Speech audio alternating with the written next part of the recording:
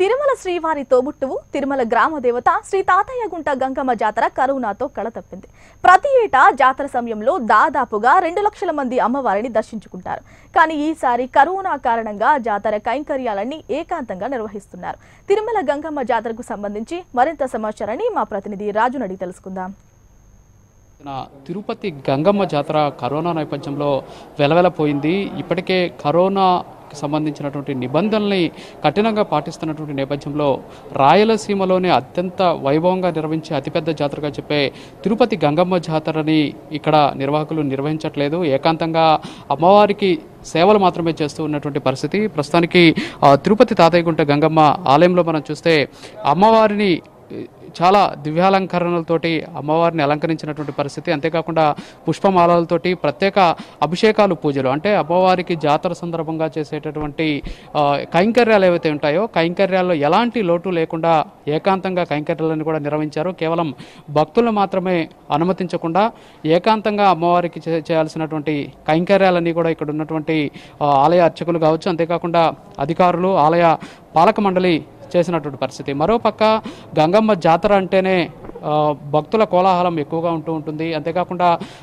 అమ్మవారికి ప్రతిరోజు కూడా అనేక రకాల వేషాలతోటి భక్తులు ఇక్కడికి వచ్చి అమ్మవారిని దర్శించుకొని పొంగళ్ళు అంబళ్ళు సమర్పించుకొని వెళ్తూ ఉండడం మానవాయితీ. అయితే గత రెండేళ్ళుగా కూడా కోవిడ్ విస్తృతి నేపథ్యంలో అమ్మవారి జాతరను ఏకాంతంగా నిర్వహిస్తున్న పరిస్థితి. ప్రస్తుతానికి విజువల్స్ చూస్తున్నాం వాస్తవంగా ఈ సమయంలో అయితే కిక్కిరిసిపోయి ఉండాల్సినటువంటి ఆలయం వెలవెలబోతూ ఉన్నటువంటి పరిస్థితి. ఎందుకంటే కరోనా మహమ్మారి విస్తృతి ఎక్కువగా ఉన్నటువంటి నేపథ్యంలో కనీసం అమ్మవారి దయతో వచ్చే సంవత్సరం అయినా సరే అమ్మవారి జాతర అంగరంగ వైభవంగా జరగాలి కరోనా మహమ్మారి పీడ వదలాలని చెప్పేసి భక్తులంతా కూడా కోరుతున్న పరిస్థితి. ఇక్కడ చైర్మన్ గారు ఉన్నారు అయితే మాట్లాడదాం.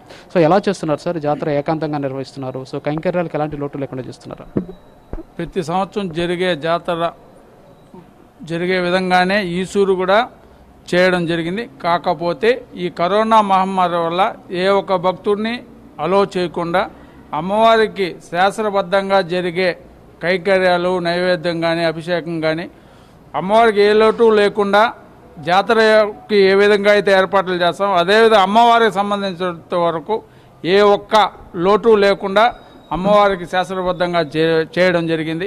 అదేవిధంగా తిరుపతి ప్రజలందరూ సుఖ సంతోషాలతో ఉండాలని భక్తులు అల్లో చేయకపోయినా వాళ్ళ ఇళ్ళలో వాళ్ళు పూజలు చేసుకొని ఈ కరోనా మహమ్మారిని బారిన పడకుండా ఉండడం కోసమనే వాళ్ళ ఆరోగ్య రీత్యా మేము ఏకాంతంగా నిర్వహించి వాళ్ళకి మేలు జరగాలనే మేము ఈ ప్రయత్నం చేశామే తప్పటి నుంచి భక్తులకు ఇబ్బంది కలిగించాలనో ఇంకొక ఇతరతర కారణాలైతే కాదు.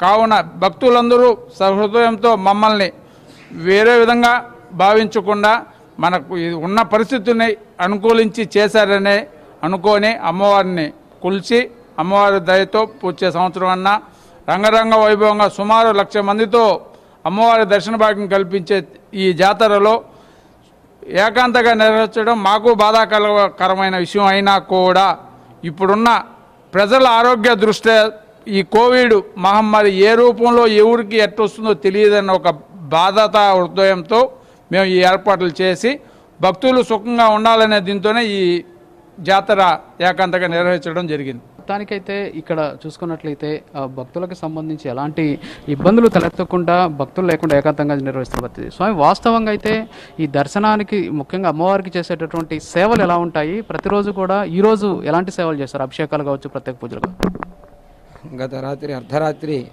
శక్తి ఉద్భవకాలంలో పన్నెండు గంటలకి అమ్మవారికి విశేషంగా మంగళ ద్రవ్యాలు సౌభాగ్య ద్రవ్యాలతో అభిషేకం జరిగింది.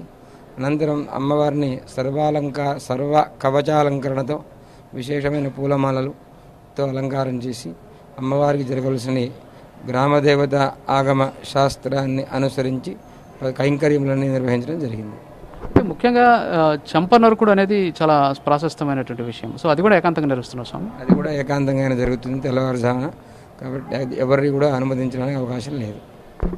సో మొత్తానికైతే ఎంతో వైభవంగా నిర్వహించేటటువంటి గంగమ్మ జాతరకి కోవిడ్ అడ్డు రావడం అంతేకాకుండా కోవిడ్ మహమ్మారి రెక్కలు విచ్చుకుంటున్నటువంటి నేపథ్యంలో ప్రస్తుతానికి ఏదైతే ఏకాంతంగా నిర్వహిస్తున్నటువంటి పరిస్థితి ప్రతి సంవత్సరం కూడా లక్షలాది మంది భక్తులు పొంగళ్ళు అంబళ్ళతోటి వివిధ వేషాలతోటి వచ్చి అమ్మవారిని దర్శించుకోవడం ఆనవాయితీ. కానీ ఈసారి చూస్తే అలాంటి జాతరకి సంబంధించినటువంటి ఏమాత్రం కూడా ఇక్కడ ఆ కళ లేదని చెప్పుకోవచ్చు. కేవలం ఇది ప్రజల ఆరోగ్యాన్ని దృష్టిలో పెట్టుకొని ఏకాంతంగా నిర్వహిస్తున్నాం కాబట్టి ప్రజలందరికీ అమ్మవారి ఆశీస్సులు ఉంటాయని ఆలయ పాలక మండలి చైర్మన్ కావచ్చు అంతేకాకుండా ఇక్కడ ఉన్నటువంటి అర్చక స్వాములు కూడా చెప్తున్న పరిస్థితి. తిరుపతి తాతయ్యకుంట గంగమ్మ టెంపుల్ నుంచి కెమెరా పర్సన్ రామకృష్ణతో రాజు